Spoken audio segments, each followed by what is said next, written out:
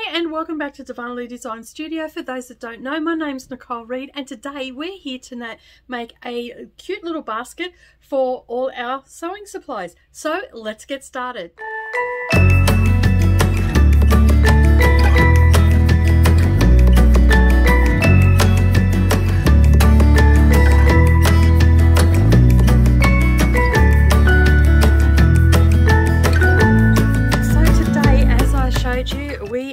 Making a little basket for English paper piecing or for whatever you want to use it for.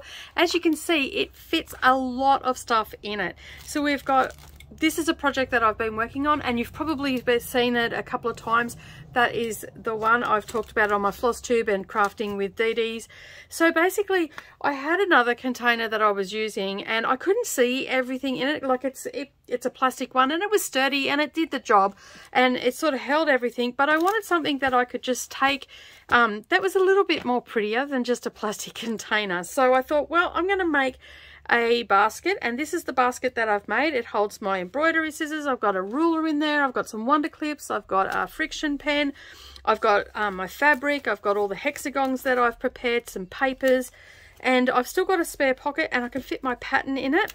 So the basket actually measures, uh, the base of the basket is about six and a half inches and um, I'm just trying to think of, and it's about six inch, five and a half to six inches depending on your seam allowance but that with everything in it it is sitting um, from the cutting table just under six inches and it is six and a half inches across from corner to corner. Okay so that is what the basket is going to look like so you can see that it is quite deep and it holds quite a bit. This would be a great fat quarter um, holder as well. So you can see there I've got uh, five fat quarters sitting there.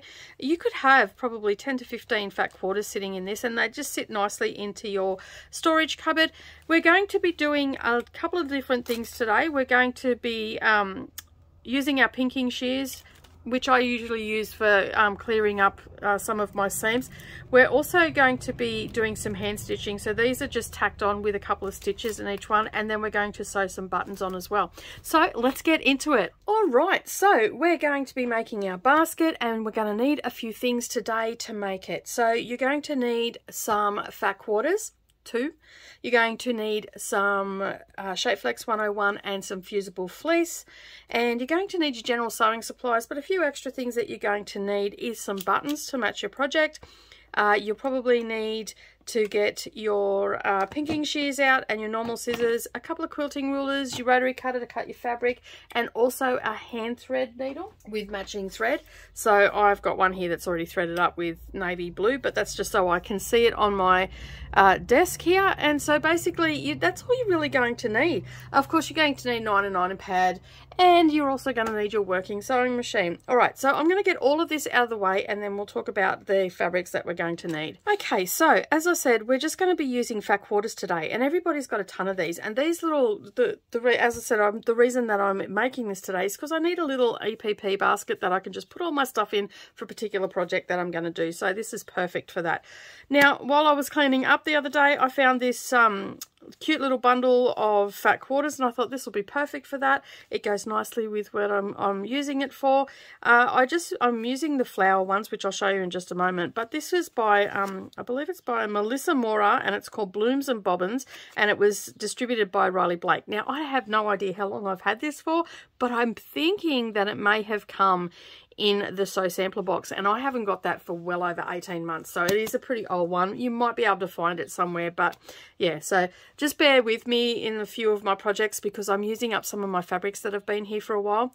Now what you'll need to do once you've selected your fat quarters if they've been folded up for a while you're going to have to get some best press and your iron and your ironing pad and you're going to have to give them a really good press to get those creases out. All right also you're going to need some Shapeflex 101 that's my favourite woven interfacing and then also my favourite uh, fleece to use is fusible fleece of course and this is Matilda's own but Pellon or Legacy or any one of those will work just the same. Alright, so once you've got those, um, you're going to pick your uh, fabrics and we are going to place our fusible fleece and our SF101 onto our fabrics after I've pressed them and these are cut at 18 inches square. Now, when we put our interfacing on, we're going to do it a little bit different than what we normally do. We are going to have our uh, Shapeflex 101 on the outside fabric, so this is my outer fabric, and on my lining fabric, which is my which looks like stitching, is going to have the fusible fleece. It does. Um, I just find it a little bit easier to work with when it is this way for this particular basket. I've tried it both ways and I prefer it on the lining, the fusible fleece. So as I said, they are 18 inches square. So get all your fabrics prepped, get all your interfacing on and set them aside for a moment and then you're going to need four matching buttons to your project. So I had these um, cute little buttons in my stash. I got these from Big W ages ago here in Australia but any button that you can find on Amazon or anywhere like that or if you've got a really pretty um, button buttons that you want to use. Maybe you've recycled an old jacket or something like that and kept the buttons off it. You can use those buttons as well. It doesn't matter what size button you use. The only thing I will say is for this size basket you don't want to use a really small button. All right so I've got my four buttons. Uh, I've got plenty to choose from but I've gone with pink. And then all we're going to do with our um, once we've got our fabrics pressed we're going to move on to assembling up our basket all right, so I'm going to just move some extra stuff out of the way and hopefully you can see most of that on camera. All right, so what we're going to do is we're going to take our lining fabric and we're going to take our exterior fabric and we're going to place them right sides together. Then what we're going to do is we are going to clip or pin that and I'm just going to clip it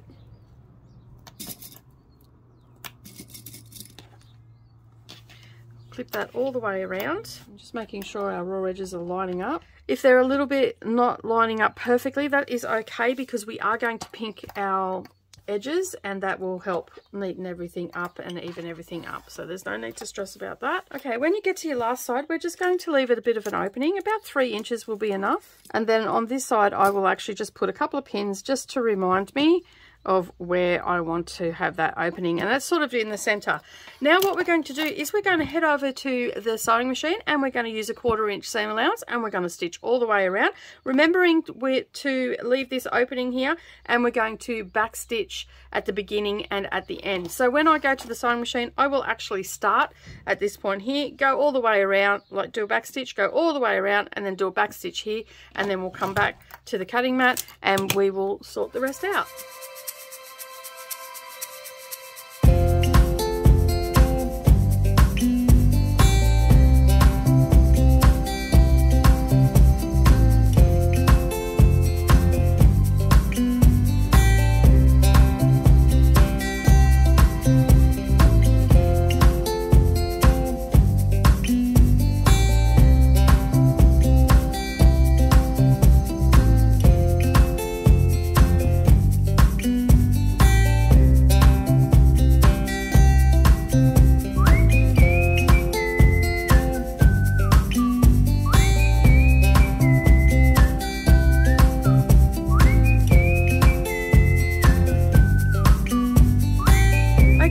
Now that we've done that, what we're going to do is we're going to take our pinking shears and we're going to pink all the way around and then we'll turn it in the right way.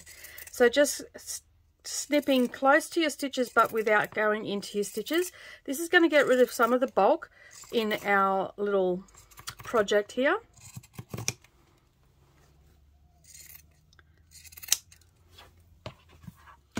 Okay, so once we've done that, what we're going to do is get rid of all our little bits and pieces off it. We're just going to open up this opening and we're just going to reach into one of the corners, separating your fabrics from one another and go into one of the corners and put your index finger in there and then with your thumb just push that little corner out of the hole and then you can just pull that through nice and easily. And as you can see, I'm sort of rotating it as I'm doing it and pulling some out and that just makes it super easy to bring everything out to the outside. Then what we're going to do is poke all our corners out. Um, you can use a chopstick or you can use what I normally use which is a, a creaser for um, scrapbooking and it's got a dull end so I find that it, it still gets the, the corners nice and crisp but to give it a helping hand I sort of just put my index finger in into each corner and just give them a really good push out. And if you've got long nails, this really helps to get those out. And I just sort of play around with it until I get them all out. Okay, so once you've got that out, what you're going to do is you're just going to roll your seams. And that just helps the seams to line up really nicely. And you're going to do that all the way around. Okay, smoothing everything down, making sure that all our seams are rolled nicely. Before we press it, I'm just going to roll this in a quarter of an inch and then I'll do the same with the other side. You can also use pins here instead of clips, that's entirely up to you, but you can see there that if I line that up on my board, it's down, it's down a little bit, so I know that I've got to play with it. But I'm going to give it a press before I press here and just get that the either side to sit nicely because it could be that my seams are not rolled properly and they're just not sitting right. So this side takes a little bit of fiddling just so we can get a nice neat finish. And you don't want your iron too hot at this stage because you've got that fusible fleece in there and you don't want to make it shrink or anything like that. So I've got my iron set on a low to medium heat and that still does everything that I need it to do. It just um, won't scorch my uh, fabric and it won't make that um, interfacing on the inside of the fusible fleece um, shrink down. All right so we have some nice crisp seams here. And I'm just looking at that now and that's just got to be fiddled with just a little bit more. Get that to sit a little bit better and then we will be able to give this a press. It's just little things that I like to do to get things to sit nicely. All right I'm happy with how that is and so now I will give take the wonder clips off one at a time and just give it a press with the tip of my iron and then put that wonder clip back on. Same thing again here. And then right at the end. These are just little things that I like to do as I said to just give me a neater finish for things. All right and then I'm just going to press the rest of the basket Okay, so next what we're going to do is we're going to head over to the sewing machine and we're going to do a top stitch all the way around and we're going to do an eighth of an inch top stitch. Okay, don't forget to make your uh, stitches a little bit longer and that way they'll sit nicely and you won't get that jagged look to your top stitch.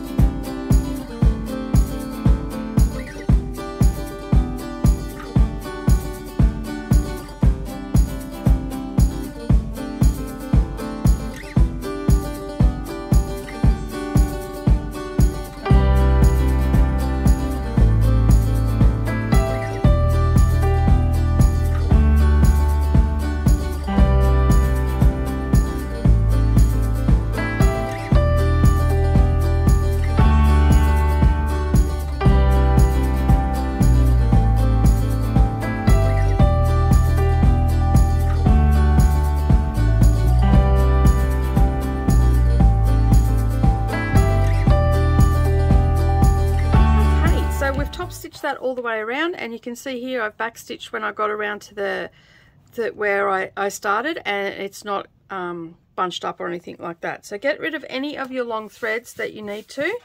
And next we're going to assemble our little basket. Okay, so once you've got rid of all your threads and you've top stitched, you're going to have your basket with the lining facing up. And then we're going to bring our corners up to one another and I'll just clip these in place so they don't move on me. And then we're going to get our ruler and our friction pen. And from the fold we're going to come up four inches and just put a mark. And then from this edge here, we're going to come across four inches. So right along the edge of the fabric there, not your stitching, and we're going to put a dot there. Then we're going to do exactly the same on the other side. So once you've done that, you're going to join your dots. So just lay your ruler on there.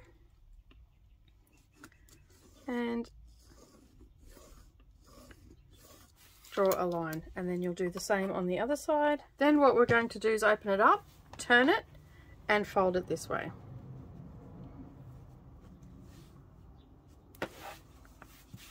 making sure it's all nice and smooth on the inside. And then we clip it so it doesn't move on us. And then we're going to do exactly the same thing again. So we're going to come up four inches and make a mark. And along the fold we're going to come in four inches make a mark and then join those dots and repeat for the other side. Okay, so once you've got that done, what you're going to do is we're going to head over to the sewing machine and we're going to stitch on this line and we're going to backstitch at the beginning and at the end and you're going to do that on both sides.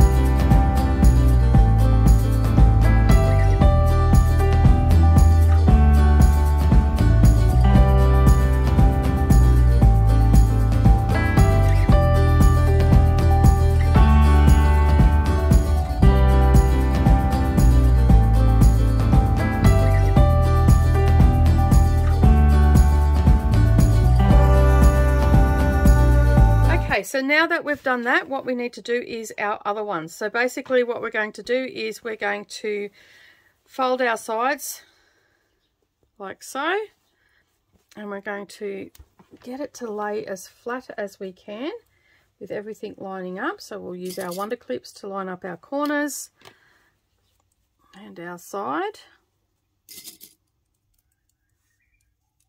Okay, and I'm going to get it to lay as flat as I can and make sure that nothing is crinkled up in there or anything so everything is out of the way so it's nice and flat. So you can see there that I'll be able to sew that because it's sitting nice and flat. And to just help me out I will just put a wonder clip there and a wonder clip there. And then on this side I will again go in there make sure that all the fabric is laying flat and get my corners to line up and my sides bring them together. Pop a wonder clip. And then just make sure that all my sides are lining up where I've top stitched. Pop a clip there. Now I can feel in there that that's nice and flat so I don't have to worry about it. And like always to help me out just put my hand in there and make sure that I can't feel any bumps or lumps in there I'll just put a wonder clip there. Then we're going to head over to the sewing machine and do exactly what we just did and do a back stitch at the beginning and at the end.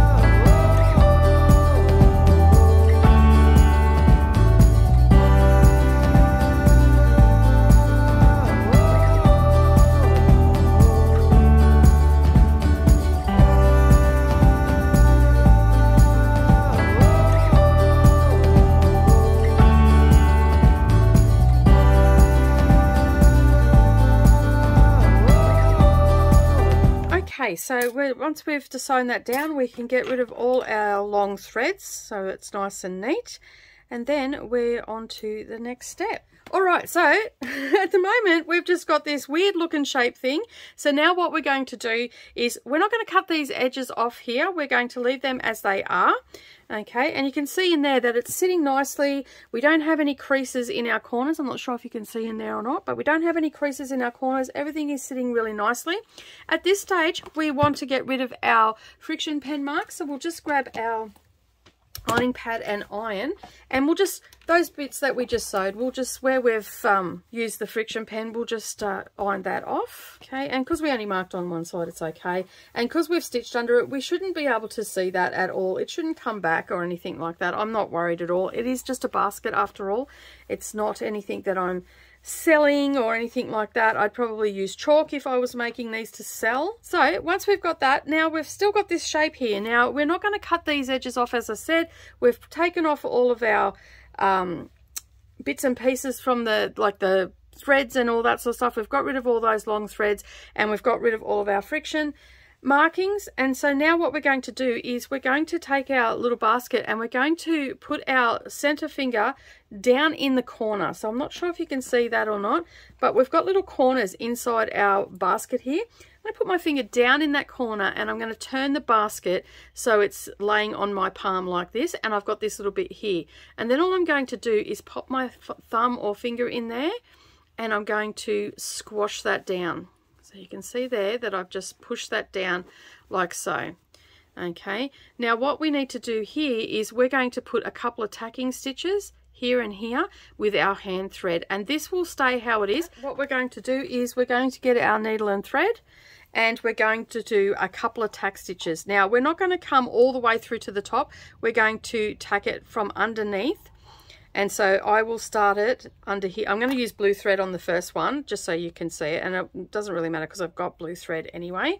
So what I've done is I've just done a little knot and I'll just get rid of the tail. And this is going to be underneath it. So I'm going underneath here and I'm just going to take I'm not going all the way through to the lining. I'm just taking a little bit of a bite and then I'm going to bring that down. Now you can see that that's about a quarter of an inch in okay underneath there. And then I'm just going to pull that a little bit tight. And then what I'm going to do is going to put my thumb in here and I'm going to roll that back. And then just where I've gone in I'm going to tack through the um, exterior fabric. So I haven't come through into there. I'm just doing it on the exterior fabric. And I haven't gone through the lining either on the main part of the basket. Now you will be able to feel it if you go through. Okay. And I just do I don't know if you can see that very well. I do apologize. But yeah I just tack that down like so. And you can see there it's just tacked it. And I do that probably three maybe four times.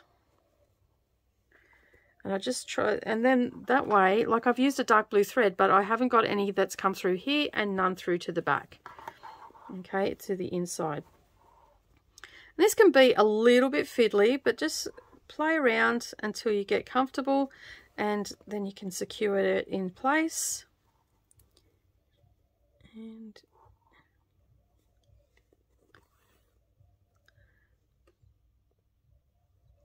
okay. And so I will just finish that off by slipping that through and then I will get my scissors and I will snip right down as close as I can to it and then I'll just tuck that in. And there we go. Our little side is now um, secure. So we're going to repeat that all the way around. Okay, so they're all sewn down now. So you can see there that they're like little pockets. So we can put our pens and all that sort of stuff in there. So they'll just sit there quite nicely, as you can see. All right, so the next thing is we've got these to, to contend with now. So this is where we need to get our buttons and we need to get some thread that actually matches our buttons because we don't want to have the dark blue. All right, so you can use um, either embroidery floss or you can just use normal sewing cotton. And I'm just going to use normal sewing cotton today. But the first thing that I want to do is I want to actually just fold this down. So you can see here we've got some stitching where we've um, stitched our darts, our little pockets in, what we need to do is just put our fingers there and just fold this over, okay? And then just finger press it, but we don't want to push it down so it starts to curl. We want it to just sit there nicely. So you can see here, it hasn't actually gone past there. And then we'll just grab some wonder clips and you can just finger press that into place. And then we will just fold that down on this side. Side.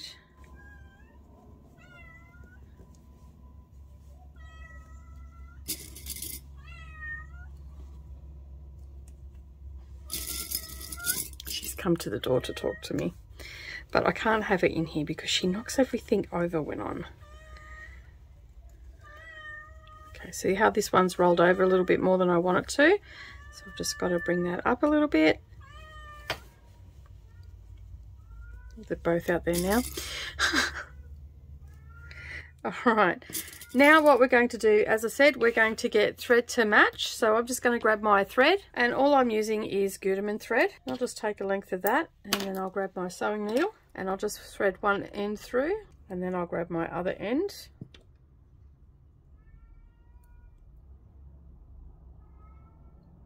And bring it up to that and then I will just create a knot in the bottom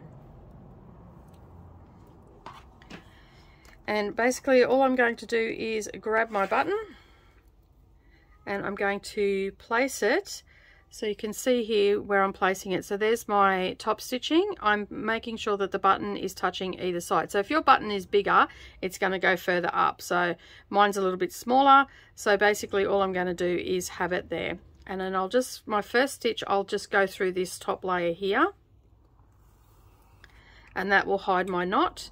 And then all I'm going to do, holding that in place, is I'm going to go down and I am going to go through the lining this time.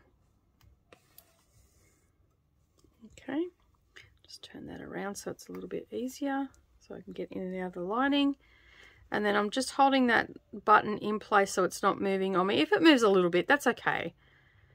And then I'm just going to go backwards and forwards. Now, I, as I said, I am going through to the lining, but this is a very pale pink, so I won't see that, that um, stitching in there and it'll just hold my lining into place too. I will find the my mojo of where to hold it in a moment.